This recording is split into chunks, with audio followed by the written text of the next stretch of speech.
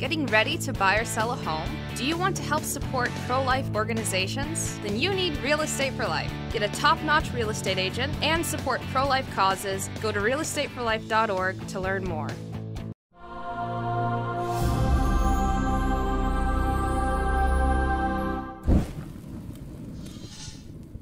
of Alcala, who is the, the patron saint or the patron of all the lay Franciscan brothers in the Franciscan order. Didacus is a living proof that God chose what is foolish in the world to shame the wise. God chose what is weak in the world to shame the strong. As a young man in Spain, Didacus joined the secular Franciscan order and lived for some time as a hermit. After Didacus became a Franciscan brother, he developed a reputation for a great insight into the ways of Almighty God. His penances were heroic. He was so generous with the poor that the friars sometimes grew uneasy about his very charity. So Didacus then was a Spaniard born at the little town of St. Nicholas de Porto in the Diocese of Seville in the 15th century. From his early youth, he began the perfect the practice of perfect life under the guidance of a pious priest in a solitary church. Then, in order to bind himself more closely to God, he made the profession of the rule of St. Francis in the convent of the Observantine friars at a place called Arizafa. Then he bore the yoke of humble obedience and regular observance with great alacrity and devoted himself especially to contemplation. Contemplation of the things of our Lord, in which he received wonderful lights from God, so that illiterate as he was, he spoke of heavenly things in an admirable manner by a divine gift from the Lord. He was then sent to the Canary Islands to govern the brethren of his order, and there he had much to suffer.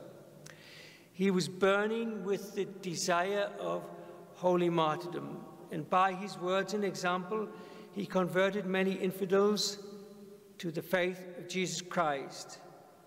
Coming to Rome in the Jubilee year, in the pontificate of Nicholas V, he was entrusted then with the care of the sick in this famous convent in Rome called Araceli, Franciscan convent.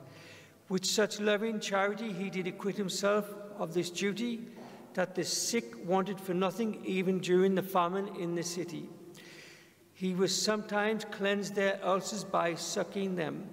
He was remarkable for his great faith, faith and his gift of healing. For by signing the cross upon the sick with oil from the lamp burning before an image of the Mother of God, Our Lady, to whom he had the greatest devotion, he would miraculously cure these souls. At length, when at Alcala, he understood that the end of his life was at hand. Clad in an old tunic, with his eyes fixed on the cross, he devoutly pronounced these words of the sacred hymn. He said, O sweet wood, sweet are thy nails, and sweet thy burden, thou wast worthy to bear the King and Lord of heaven. He then gave up his soul to God on the day before, in November, on the year of the Lord 1463. His body was left unburied for several months in order to satisfy the pious devotion of the numbers who came to see his body, as though already clothed in immortality. It was incorrupt, it was incorrupt, and exhaled a beautiful, sweet odor. He was renowned then for making many striking miracles during his life and now at his death, and was enrolled amongst the saints by Pope Sixtus V. What can we learn then, dear brothers and sisters in Christ, about this magnificent saint today, this humble Franciscan? How the humble are exalted is borne out in the very life of Saint Didacus. Born of poor parents in a lonely station and having no schooling of any kind, we said he was illiterate. He was able then to discuss the loftiest of matters to the great astonishment then of the wise and learned men of the world. How we need to humble ourselves today and understand our nothingness before God. God is everything and we are nothing. One day we must understand, we must stand before the judgment seat of God. Let us banish then all pride in this earthly pilgrimage so we can be humble like the Blessed Virgin Mary, our sweet mother. Remember, all you do, even if it be great in the eyes of the world, must be offered up for God's glory and recognized as a gift from Him. Remember well that God has not only called you into existence, but He sustains you in your being. He could easily, in an absolute sense, annihilate you and make you into a non being. This he will not do because this goes against his essence, because God is love, and all he wants is for you to be humble, for you to give him glory, and for you to save your soul and help save the souls of your neighbors. Consider those in the world consumed consumed with vain glory and pride, do many philanthropic acts as do-gooders in the name of helping the poor. These elitists will gain no merit in God's eyes if they are not in a state of sanctifying grace. We can give millions and millions and millions of pounds to the poor, but if we have the wrong intention, the intention of vain glory, and uh, we're not in a state of sanctifying grace, this counts for absolutely nothing before God. Worse still, if they make these acts of charity for their own glory, this counts as nothing. Be humble then as the widows mite in the gospel. Her penny, as you remember in the gospel, spoke volumes before the seat of God's mercy.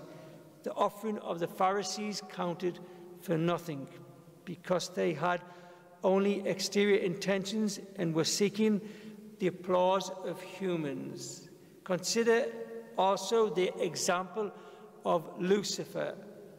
Lucifer, endowed with the most brilliant gifts of nature and grace, he contemplated not God, but he contemplated himself. He became puffed up, and immediately he was deprived of his throne among the angels, as was then thrust directly into hell. Didacus, who was greatly esteemed by the world and by his brethren because of the marvelous things God accomplished through him, nevertheless thought of himself as very little and wished to leave this world clothed in the poor and worn out habit. He was the one who wanted to live the words of Job in this scripture, the words of Job, and said, Job, naked came I out of my mother's womb, and naked I shall return thither. The Lord gave, and the Lord hath taken away. As it hath pleased the Lord, so it is done. Blessed be the name of the Lord.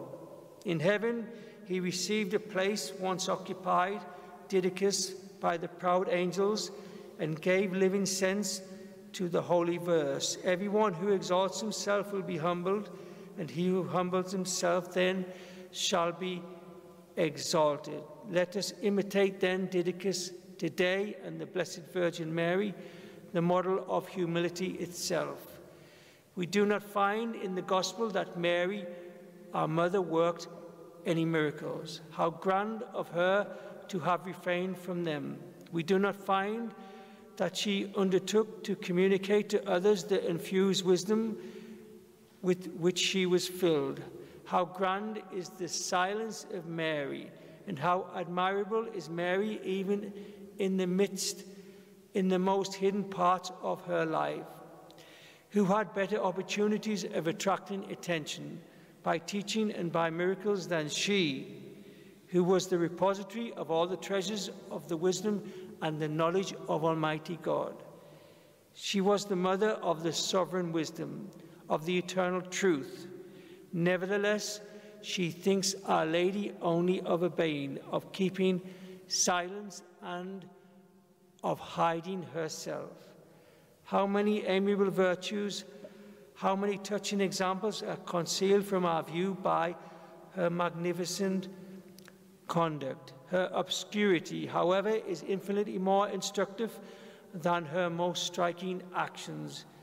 We had already before our eyes many models for action and for speech, but we needed one to teach us to be silent and to never to act without necessity. She is then the Blessed Virgin Mary, the most holy and beautiful creature, who was the magnifier of the Lord with her profound humility and increased in grace every instant of her earthly life. Be not then a follower of the false worldly humility, which says this contradiction in terms I am proud to be humble. This is what they say in the world I am proud to be humble.